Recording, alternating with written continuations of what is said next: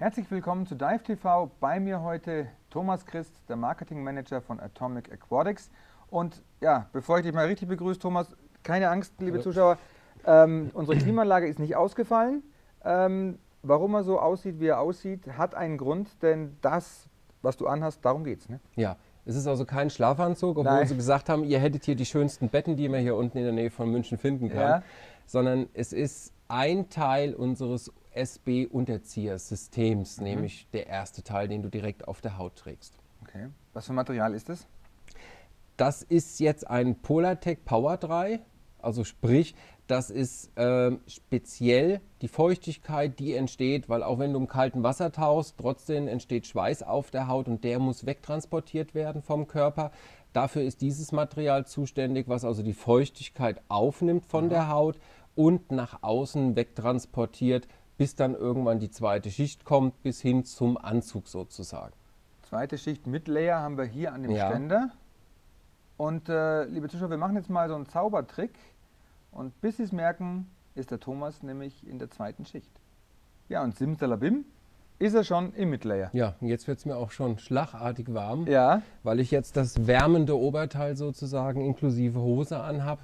da siehst du schon, währenddessen hier der Einteiler hängt, Aha. den wir auch in 16 verschiedenen Größen für Herren anbieten kann es ja immer noch mal passieren, dass die Figuren doch so geschnitten sind, sage ich mal, dass es dir lieber ist, Unterteil und Oberteil getrennt zu haben. Mhm. Vor allen Dingen bei vielen Mädels ist das so, weil die im Gegensatz zu Kerlen beim Toilettengang ist ja immer noch eine andere Nummer. Ja. Und damit die sich nicht obenrum komplett ausziehen müssen, ist natürlich eine getrennte Hose zum Oberteil viel angenehmer, weil es oben dann noch warm bleibt. Ja, das stimmt.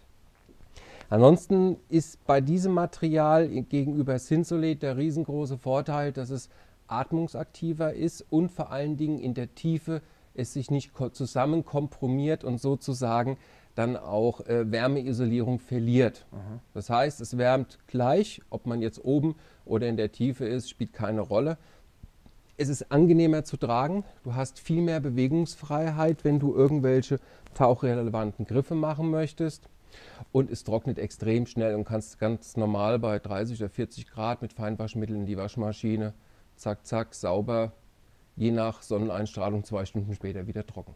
Wunderbar. Und die Männer aber, ich, ich stelle mir trotzdem einen Gang zur größeren Toilette, die macht man dann vorher oder muss man unterdrücken, wenn man jetzt diesen Catsuit da anhat, overall? Ja, ne? ja. Das sollte man dann schon machen. Oder man muss dann wirklich in den sauren Apfel beißen, wenn es draußen wirklich bitterlich kalt ist und man nur ein Plumpsklo haben sollte dann Was? muss man das Oberteil halt komplett runterziehen ja. und dann.